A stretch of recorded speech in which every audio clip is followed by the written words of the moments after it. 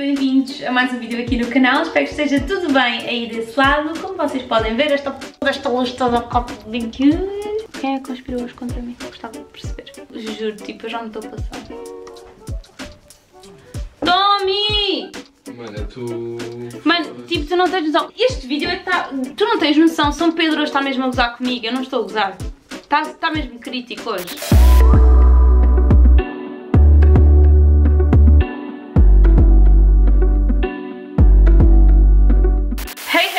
Pessoal, sejam muito bem-vindos a mais um vídeo aqui no canal, espero que esteja tudo bem aí desse lado, daqui a Rochi do futuro, porque sim, naquele dia, como vocês puderam ver, a coisa não estava a correr bem e eu pensei, vou deixar a intro para depois e focar-me naquilo que quero gravar. E portanto, aqui estou eu para vos dar um oi e também para vos falar um bocadinho o que é que vamos fazer, obviamente, neste vídeo. Basicamente é um vlog de limpeza em que eu vos mostro a organização da minha casa em um dia, se bem que com esta situação toda da quarentena, isto alargou-se para uma semana e eu sinto que sistematicamente tenho que arrumar e limpar a casa, por isso eu espero que vocês gostem de acompanhar este vlog e bora lá então começar com a bela segunda-feira. Vamos começar aqui pela sala, pessoal. Tem aqui uns sapatos desarrumados, depois está ali a área de trabalho do Tommy, que também precisa de ser meio organizada mas eu vou atacar obviamente aqui mais nesta zona. Claramente foi muito desleixo Inês Rochinha. Canecas, desmaquilhante, computadores e temos aqui um condinho, sempre a dormir este condinho. Portanto vamos organizar isto tudo e pôr tudo bonitinho, não é Tata? A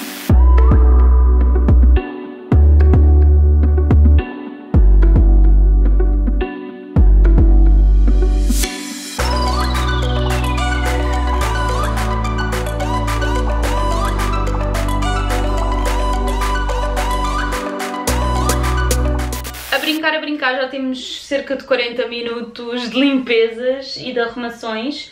Eu vou agora aproveitar para organizar a pior parte. Roupa é o que eu menos gosto de fazer, portanto vou dobrar tudo isto que está aqui, também tenho aqui mais este cesto, e organizar também por divisões, porque eu tenho imensas toalhas para colocar na casa de banho e portanto como ainda não limpei a casa de banho, vai ser uma das últimas coisas, vou aproveitar para assim que chegar à altura de depositar as coisas no seu sítio certo, já tenho tudo organizado. E pronto, vou atacar toalhas e dobrar coisas que é tipo a pior coisa de sempre. Então, neste cestinho azul estão coisas que são para passar a ferro e que inevitavelmente eu vou ter que passar. Ah, e esta camisola de malha ficou aqui perdida. Calma, esta é para aqui, para este montinho. Mas pronto, isto são coisas que obrigatoriamente têm que passar pelo ferro, senão não ficam boas. Isto aqui são coisas que eu vou arrumar, que já estão prontas, estão lavadinhas e são peças que não precisam, obviamente, de ferro. Portanto, já estão ok para eu pôr no roupeiro. Aqui são toalhas, mas eu tenho mais na cozinha para dobrar e para, para pôr na casa de banho. E estas duas camisolas são da minha irmã, e então uh, tenho que as colocar aqui para terem um V de volta, não é? Portanto, estas são dela e tenho isto para arrumar. Ainda tenho mais coisas na cozinha, como vos disse, portanto, yeah. The next room é uh, parte do closet, portanto vou levar tudo isto, vou levar também este cestinho que tem meias perdidas. Eu não sei se vocês têm o mesmo problema, mas eu tenho sempre assim, montes de pás perdidos. Então eu não os ponho dentro do roupeiro porque senão já sei que nunca mais vou ter o vagar de ir buscar e juntá-las aos pares. Então eu deixo assim neste cesto e depois quando as encontro uno-as no roupeiro.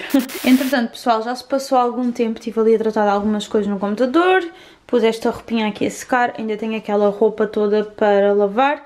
Esta máquina acabou de ficar prontinha. Coloquei aqui o cesto, que depois vou organizar as coisas ali para colocar. O meu manjericão está aqui muito solo está muito espanadinho, mas ele volta sempre a crescer, portanto eu deixo-o aqui ao apanhar solitos. Vou agora atacar o closet, que está assim mais desorganizado. Diria que é assim a situação mais messy. Tenho roupa, coisas para arrumar, enfim. Este cesto eu também já organizei aqui as peças para arrumar. Aquilo é roupa para lavar que vou aproveitar para pôr lá.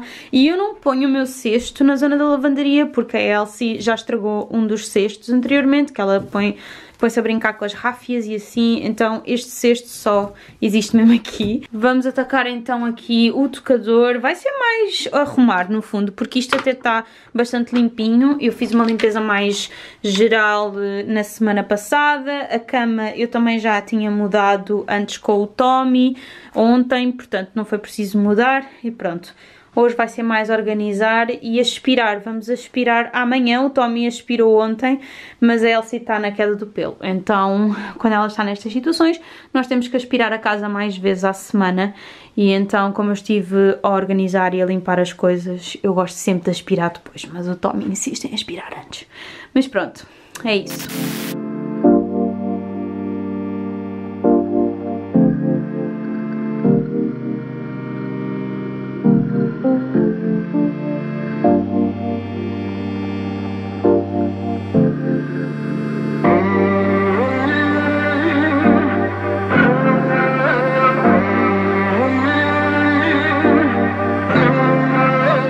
Esta é a realidade de mais um dia de quarentena. Vocês viram, eu limpei esta cozinha toda ontem, mas ela já está assim, porquê? Porque a pessoa decidiu fazer um bolo, hoje ainda por cima estou a fazer o Oraitena Day e achei que seria boa ideia fazer assim uma receita de um bolinho e pronto, deu nisto. Portanto, tenho esta cozinha toda para limpar outra vez.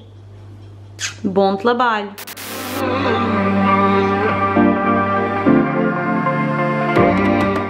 Chegámos à bela sexta-feira, pessoal, e sabem qual é o sentimento? É que passou-se uma semana e parece que a casa está outra vez caos, a sério.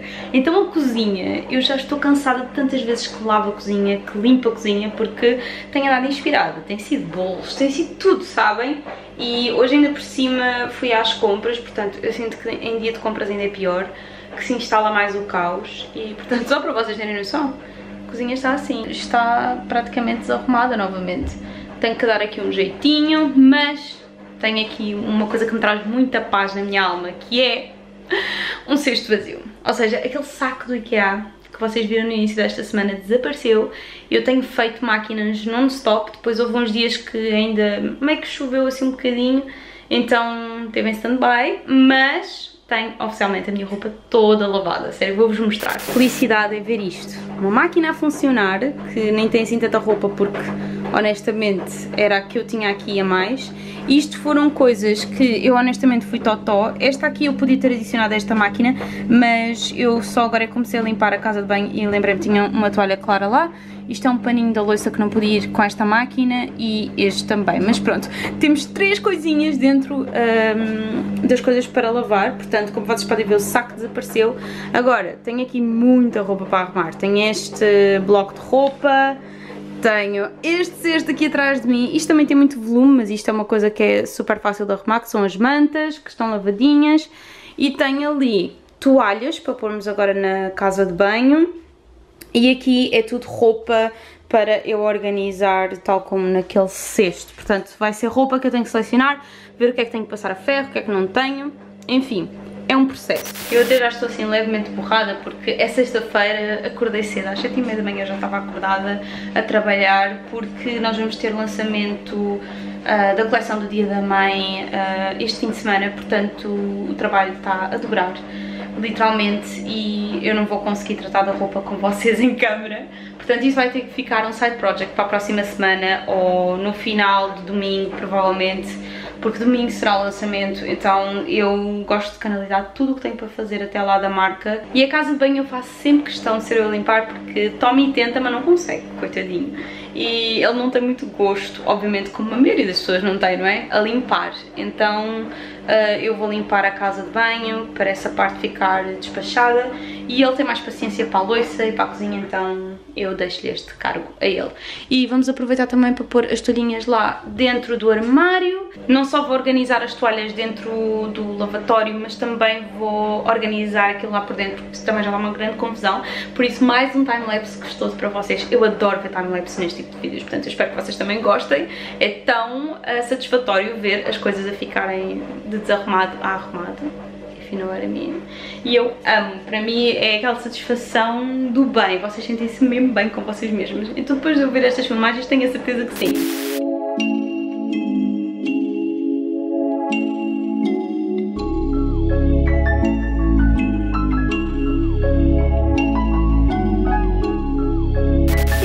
Pips, é oficial, casinha totalmente limpa neste vlog. Como podem ver, olha para esta bancada, até dá gosto.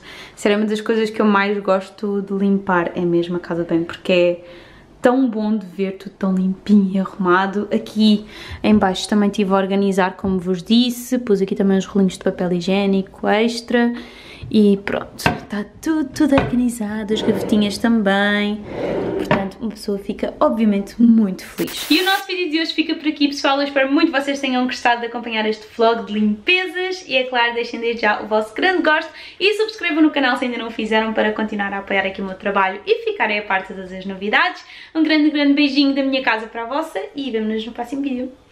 Tchau!